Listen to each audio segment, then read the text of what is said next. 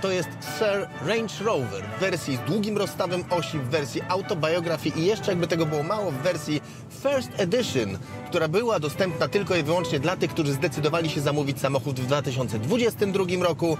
Auto bardzo limitowane i wszystko mające, wyposażone dosłownie we wszystko, co człowiek sobie może e, wymarzyć. Tym samochodem się nie jedzie, tym samochodem się płynie. Predykcyjne, aktywne, pneumatyczne zawieszenie, które współgra i z silnikiem, i ze skrzynią biegów, i z systemem nawigacji, a także wyczuwa przeciążenia, które nie są, ale które nadejdą.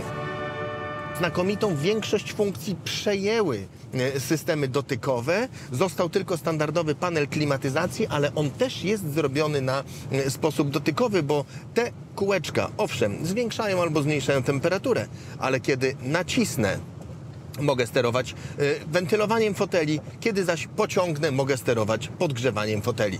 Bardzo tradycyjne, a jednocześnie ultra nowoczesne. Brytole mają łeb, jednak oni umieją takie rzeczy e, fantastycznie mm, wymyślać.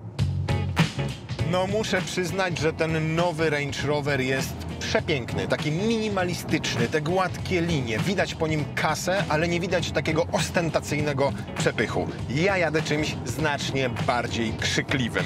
I to nie tylko jeżeli chodzi o sam wygląd, ale także to. tak, to Cayenne GTS.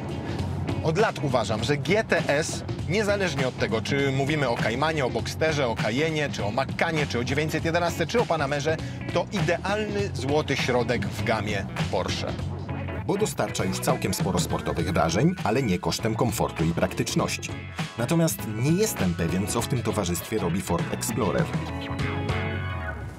Jestem ciekaw, bo Ford zaprezentował samochód, który jest dostępny w polskim salonie, który teoretycznie mm, daje to samo co Range Rover czy e, Porsche Cayenne, ale za znacznie mniejsze pieniądze. Co nie znaczy, że są to małe pieniądze. To najdroższy model w ofercie Forda. Kosztuje aż 426 tysięcy złotych, ale to wciąż dwa razy mniej od Porsche Łukasza i trzy razy mniej od najwyższej wersji Range Rovera.